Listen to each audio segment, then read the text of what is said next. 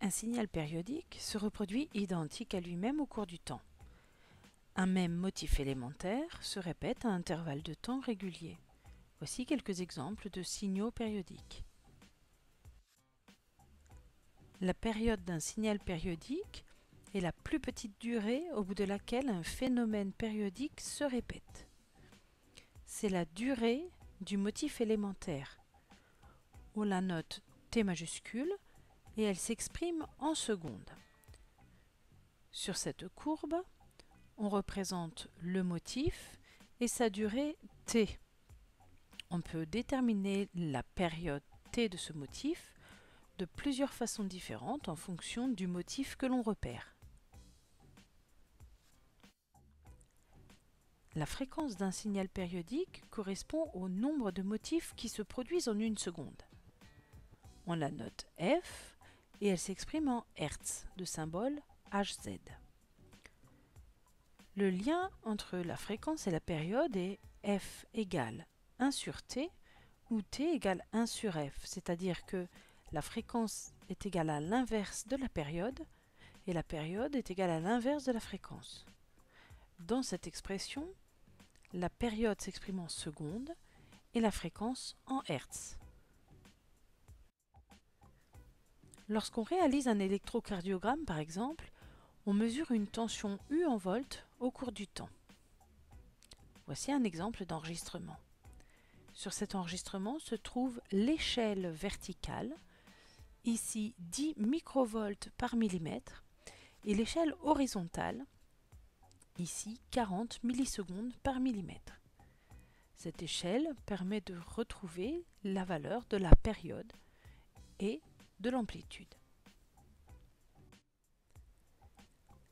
La valeur d'une tension est mesurée par rapport à une origine, par exemple ici l'axe horizontal en gras.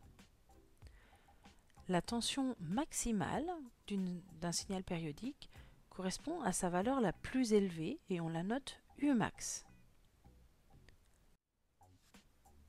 La tension minimale d'un signal périodique correspond à sa valeur la plus faible et on la note Umin. Prenons un exemple et déterminons les caractéristiques d'une tension périodique. La sensibilité verticale nous donne la valeur en volts d'une division. Umax ici est représenté par deux carreaux.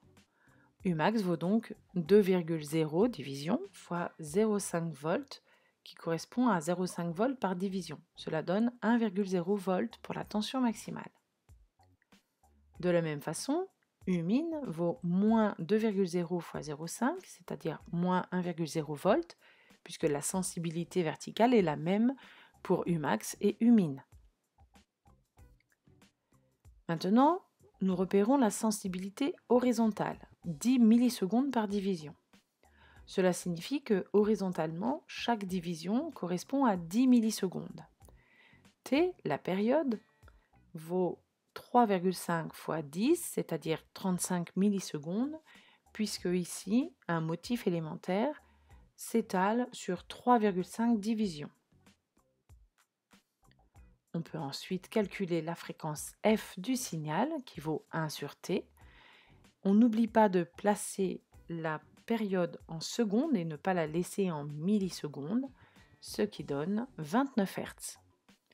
La tension crête à crête correspond à l'amplitude totale, c'est-à-dire qu'ici la tension crête à crête vaut UCC égale 4,0 fois 0,5, c'est-à-dire 2,0 volts. Prenons un autre exemple. Voici ici la représentation d'un signal périodique, U en volts sur l'axe des ordonnées et T en millisecondes sur l'axe des abscisses. Ici, on lit directement Umax qui vaut environ 2,0 volts. C'est la valeur maximale de la tension. De la même façon, Umin vaut 0,5 volts, la valeur minimale atteinte par la tension. La tension crête à crête vaut 1,5 volts. C'est la différence entre Umax et Umin.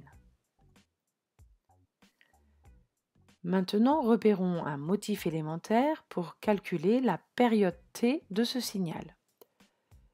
En repérant les coordonnées des deux abscisses des deux pics, par exemple, on en déduit que t vaut 1,2 millisecondes. Il faut utiliser les graduations sur l'axe horizontal, l'axe des abscisses, pour pouvoir déterminer cette période. On en déduit donc la fréquence, f égale 1 sur t, en remplaçant t par 1,2 10 3 puisqu'il faut bien placer la période en secondes, ce qui donne 8,3 10 puissance 2 Hz. Voici ce qu'il faut retenir. La période t en secondes correspond à la durée d'un motif.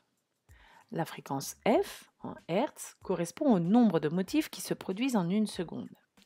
La période t et la fréquence f sont reliées par la relation f égale 1 sur t. La tension maximale d'un signal périodique correspond à sa valeur la plus élevée, on la note Umax. La tension minimale d'un signal périodique correspond à sa valeur la plus faible, on la note Umin.